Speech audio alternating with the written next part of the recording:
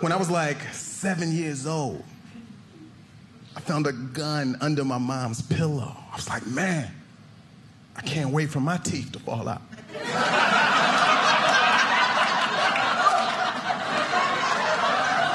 the tooth fairy's handing out pistols. I'm gonna get a bazooka for these.